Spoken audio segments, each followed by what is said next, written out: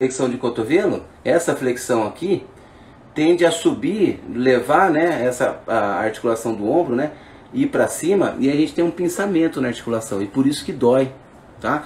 Então assim, quem tem dor no ombro, quem tem desconforto no ombro, na hora de fazer essa flexão de cotovelo, ó, encaixou o braço, afunda um pouquinho o braço para depois fazer a flexão.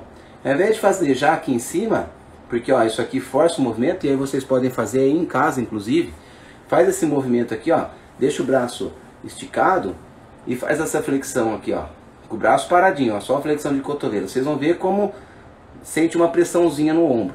Agora faz o seguinte, depois de fazer esse, afunda, é, é, entra o braço, afunda um pouquinho o braço e faz a flexão. Olha como vocês tiram a pressão do ombro fazendo isso.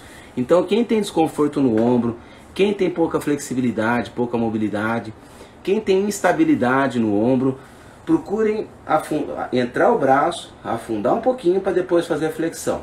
Ah, mas vai perder o rendimento, mas pelo menos não vai ter lesão, né? São escolhas que a gente tem.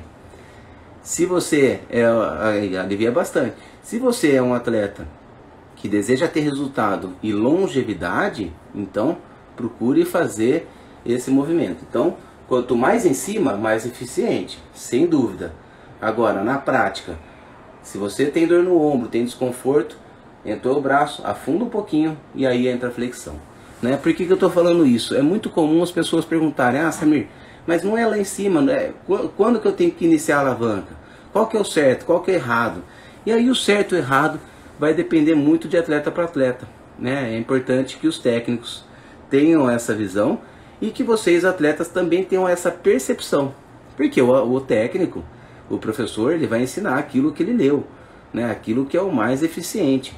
E aí cabe ao atleta também fazer essa adaptação e também relatar para o técnico, para o professor que está sentindo dor no ombro para fazer essa adaptação, tá bom?